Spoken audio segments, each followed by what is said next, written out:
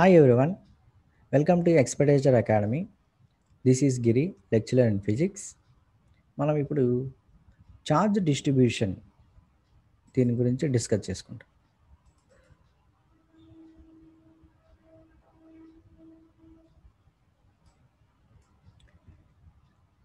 Electric field due to continuous charge distribution so electric field వల్ల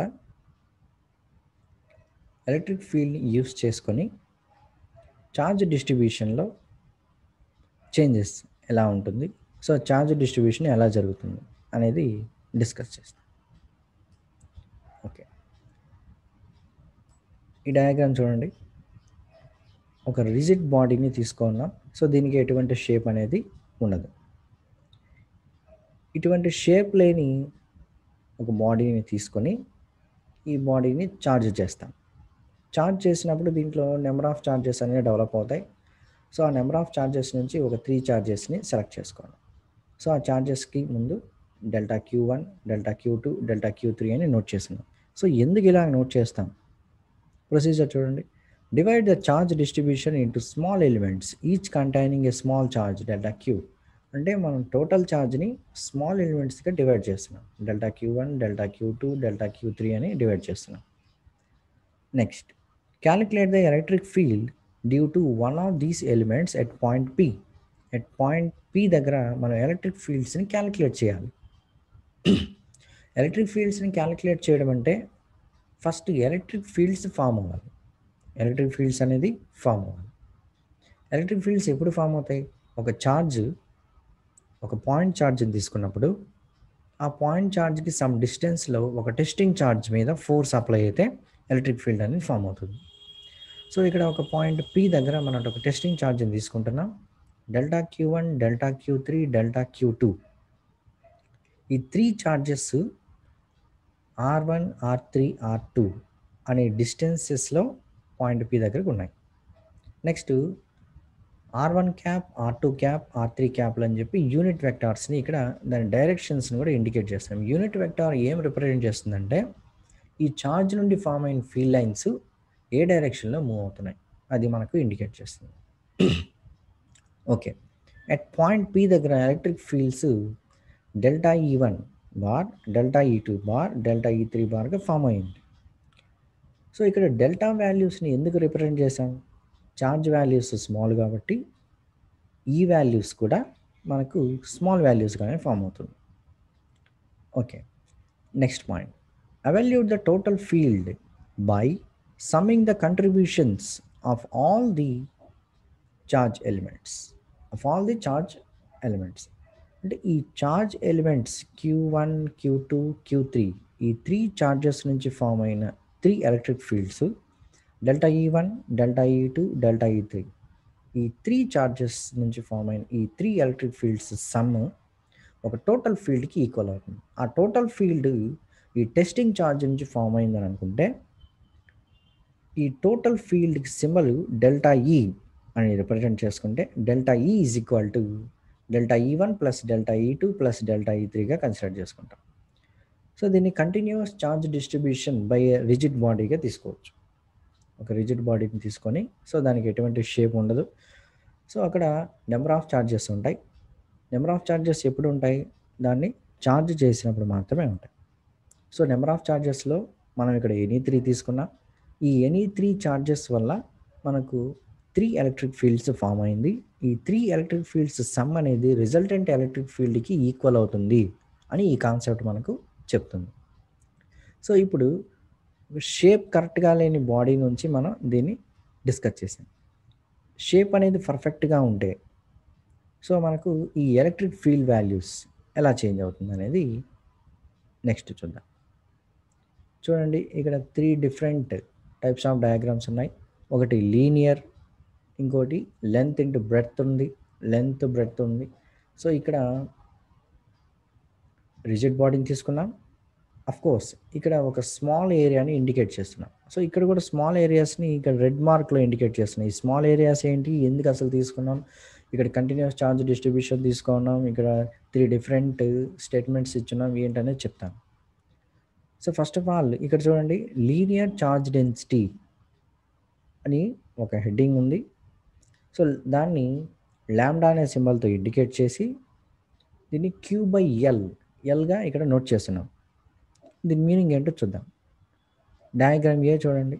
so ఇది ఒక charged wire అండి. ఈ చార్జ్డ్ వైర్కి లెంత్ అనేది ఎల్గా ఉంటుంది. ఎల్ లెంత్ ఉంటుంది. మనం ఏం చేస్తామంటే ఈ కంటిన్యూస్ ఛార్జ్ డిస్ట్రిబ్యూషన్లో స్మాల్ పార్ట్ని తీసుకుంటాం. ఈ small part value DL value అంటే దాని లెంత్ డిఎల్ అంటే చేంజ్ ఇన్ లెంత్ ఈ డిఎల్ లెంత్లో ఉండే ఛార్జ్ వల్ల పి పాయింట్ దగ్గర ఒక టెస్టింగ్ ఛార్జ్ ఉంది. ఈ టెస్టింగ్ ఛార్జ్ అనేది ఈ డిఎల్ ప్లేస్లో ఉండే పాయింట్ ఛార్జ్కి ఆర్ డిస్టెన్స్లో ఉంది. ఆర్ క్యాప్ యూనిట్ వెక్టార్ అనేది అక్కడ నోట్ చేస్తున్నాం. ఓకే సో ఇక్కడ ఈ ప్లేస్లో మనకు ఈ వైర్ వల్ల లీనియర్ ఛార్జ్ డెన్సిటీ అనే ఒక డెఫినేషన్ని డెవలప్ చేస్తాం. So lambda is equal to charge per length linear charge density it is nothing but a charge per length charge divided by లెంత్గా తీసుకుంటాం. సో మనం ఇక్కడ టోటల్ ఛార్జ్ అనేది క్యాపిటల్ క్యూగా ఇండికేట్ చేస్తాం బట్ ఇక్కడ స్మాల్ ఛార్జ్ని డీక్యూగా ఇండికేట్ చేస్తాం. So dq is equal to lambda dl dq is equal to lambda dl so dq is equal to lambda dl ఎలా వచ్చిందంటే lambda is equal to q ప్లేస్లో dq divided by dl so డీక్యూని separate చేస్తే dq is equal to lambda into dl అవుతుంది. So ఇప్పుడు దీనికి ఈ electric ఫీల్డ్కి relation ఏంటంటే so electric field formula E is equal to one by four by epsilon naught q divided by r square so ఇది మనకు తెలుసు. ఆ క్యూ ప్లేస్లో dq is equal to lambda into dl q ప్లేస్లో మనం DQ అక్కడ తీసుకుంటాం. ఎందుకు తీసుకుంటాం? మనం తీసుకునే ఎలక్ట్రిక్ ఫీల్డ్సే స్మాల్ వాల్యూస్లో నుంచి తీసుకునేది. అంటే delta is equal to one by four pi epsilon naught into dq divided by r square వస్తుంది. ఆ డిక్యూ ప్లేస్లో ఈ వాల్యూని సబ్స్టిట్యూట్ చేస్తే lambda into dl divided by r square అని నోట్ చేసుకోవచ్చు. సో ఫైనల్గా ఎలక్ట్రిక్ ఫీల్డ్ని అక్కడ ఎలా నోట్ చేసుకోవచ్చు? E is equal to one by four by epsilon naught into lambda into dl divided by r square. So ఇది ఎలా వచ్చింది? మనం తీసుకున్న ఆ మెటీరియల్ షేప్ వల్ల మనకి లీనియర్ ఛార్జ్ డెన్సిటీ అనే కాన్సెప్ట్ని డెవలప్ చేశాం. సో దాన్ని ఎలక్ట్రిక్ ఫీల్డ్కి అప్లై చేశాం. నెక్స్ట్ లెంత్ బ్రెడ్త్ ఉండే ఒక బాడీని తీసుకుంటాం. సో ఈ బాడీలో కూడా ఒక స్మాల్ ఏరియాని తీసుకొని ఒక టెస్టింగ్ ఛార్జ్కి ఆర్ డిస్టెన్స్లో ఎలక్ట్రిక్ ఫీల్డ్ ఫామ్ అవుతుందని చెప్తాం.